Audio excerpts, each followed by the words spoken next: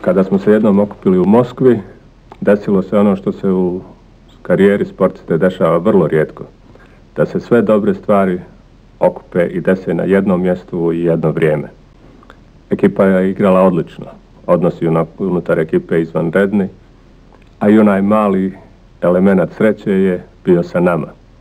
Tako da smo na kraju postigli jedan rezultat koji je nadmašio sva očekivanja i koji je objektivno prevazišao naše, naše mogućnosti. Drugo mjesto na olimpijadi je rezultat koji ja ne vjerujem da će u mojoj karijeri ponoviti